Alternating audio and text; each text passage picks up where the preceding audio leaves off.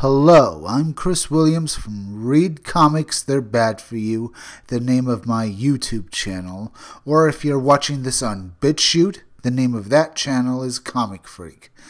Apparently, Disney and Marvel are now in hot water with the daughter of Stan Lee, who, in her own words, mistreated her father badly. She's very angry at what Disney and Marvel are doing with the characters that her father created, and she's happy and ecstatic that Sony has broken off their deal with Marvel and Disney. Now that the rights are up for Spider Man not being in the MCU, well, she is in her own words, seen some justice given to her father's memory.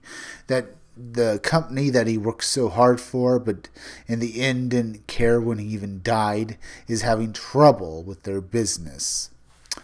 The late Stan Lee, who co created Spider Man and would have been happy over the news that Sony pumped the brakes on giving Disney control of his character, so says his daughter, Sony's move to limit control over Spider Man and potentially remove the superhero entirely from Disney Marvel Comics universe is one that was necessary and something Stan would have appreciated. So says her daughter, Joan Celia Lee. Reports surfaced Tuesday that Sony and Disney reached a standstill in negotiating Spidey's future under Disney's umbrella, including any Avengers spin offs, sequels, insiders told Deadline. It was all about money. Disney wanted a 50 50 stake in Spider Man related revenue and also wanted Marvel honcho Kevin Feige to be a guiding hand. And as you can see, Joan's is probably very happy that the deal is over. This article goes on with, well, Sony was reportedly not too down with that. They owned the rights to Spider Man and until now had partnered with Disney to crank out those last few films. That's all over now. As for how the Lees feel about it now, Joan tells us Marvel and Disney, seeking total control of my father's creations, must be checked and balanced by others who, while still seeking to profit, have genuine respect for Stan Lee and his legacy, aka cameos don't cut it. Especially cameos that put an old man in danger. He was never actually put in physical harm, but he was physically exhausted from having to spend all of his time doing these little cameo appearances, as well as going out to every single comic book convention promoting Disney and Marvel products. The article continues with She goes on, whether it's Sony or someone else's. The continued evolution of Stan's characters and his legacy deserves multiple points of view. When my father died, no one from Marvel or Disney reached out to me from day one. They have commoditized my father's work and never shown him or his legacy any respect or decency. Joan's parting words in the end no one could have treated my father worse than Marvel and Disney executives. Another article covering the same statement from Joan Lee was Stan Lee's daughter, J.C. Lee, rips Marvel and Disney. No one could have treated my father worse. Stan Lee's daughter, Joan Celia Lee, ripped Marvel and Disney executives while siding with Sony in the dispute over Spider Man being in the Marvel Cinematic Universe. JC spoke with TMZ about Spider Man exiting the MCU. That's mostly stuff we've just covered, so I'll move on. With a little bit about how Brie Larson had basically received backlash over Instagram tribute to Stan Lee. Yeah, Brie Larson doing any kind of tribute to Stan Lee is just her trying to, well, virtue signal that she's a good person and she wants to basically tap dance over Stan Lee's grave, saying how good a person she is and how great Stan Lee was when in her she probably is a leftist little witch who probably thought Stan Lee was a horrible racist and bigot, and who probably thought he mistreated women. After that little bit, the article even mentions uh, Kevin Feige invokes Stan Lee's name, says Marvel movies created to push a worldview that is the right way to be. You know, considering the way Hollywood is, I don't trust it any more than it's probably leftist commie bull. Other MCU actors had just had to barge in on this interview as well. Before JC made her public comments to TMZ, Hawkeye actor uh, Jeremy Renner took to Instagram to ask Sony to bring Spider Man back to the MCU. Renner invoked Stan Lee, writing, Hey Sony Pictures, we want Spider Man back to Stan Lee and Marvel, please. Thank you in his own arrogant way because he's an actor and they can't think of any other ways to do it by being except being arrogant leftist cucks. Reports about the split between Disney and Sony indicated Disney wanted a larger take of the box office, we've already covered. And we already know that Sony just wants to renegotiate this or just keep the terms the way they are so they have the superior well, share of the money that they're getting from these movies with Spider Man. Related, Sony responds to Tom Holland's Spider Man exiting the MCU, MCU, we are disappointed.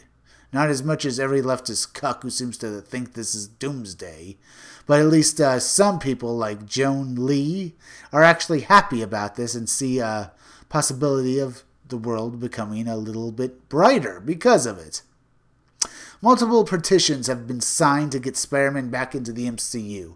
The largest currently has upwards to 75,000 signatures. Uh, related, petition launched to keep Tom Holland's Spider-Man in the Marvel Cinematic Universe, and I hope they fail. What do you make of J.C. Lee's comments regarding Spider Man and the MCU? What about her comments regarding Marvel and Disney executives? Well, I have to agree with her comments if you're asking me. Anyone else have their has their own opinion if they like well, Marvel or Sony or Disney, they all have their own opinions. Mine is that I don't trust any of them, and at least there's some justice for Stan Lee now that at least Marvel is get and Disney aren't getting their way all the time. That they still have hurdles that they have to cross, and they I hope they don't ever permanently actually well get Spider-Man's rights back. I want Marvel or to keep making movies, and if they need to make movies at other other studios like Sony, I hope they do that because those are good movies. Well, the original Sam Raimi movies were good.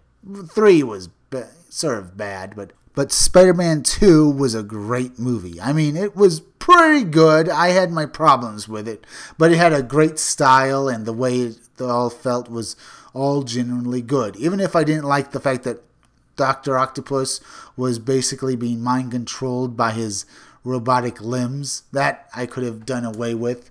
I will tell, also tell you this about Joan Lee. I'm ha- glad her and her father were on good terms and that he was with his family when he passed. At least that's some justice to Stan Lee. That he at least he had a loving family, and it's too bad that in the last year of his life he went through so much turmoil and ridiculousness before he died. But at the end, he was with his family and he was happy when he passed. We can always remember that. Now, my words on whether Sony should just keep the rights to Spider Man and never make another MCU movie with him in it are that, well, they do have Venom and they do have the other Spider Man universe characters, and they could do their own universe. We're only saying that because we want to, like the X Men movies, we want something different than the MCU. Much like the way they, well, tried to disappear the X Men, most likely Marvel Comics would disappear Spider Man, and that's a shame. But look at it this way at least we won't have what happened in The Age of Ultron, the second Avengers movie, where we have a big bad robot singing a song from Pinocchio. Or how the other MCU Spider Man films aren't all that great, in my opinion. The first one was just, well, bad. I didn't enjoy it. So maybe we won't have to endure any more of those. I have yet to see the second one, but I will eventually. Who knows? Maybe I'll enjoy it, but I didn't enjoy the last one, so who can say? But at least with Spider Man out of the MCU, I won't have to endure any more of those movies if I do not enjoy the second MCU Spider Man. So if you like this video, subscribe. Make sure you're still subscribed.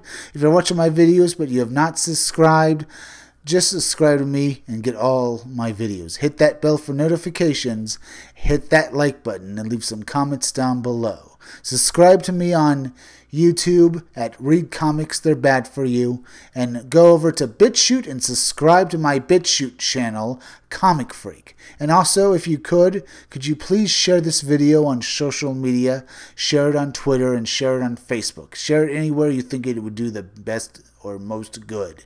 Because YouTube refuses to help their creators anymore, and it would really help me if you could share this video.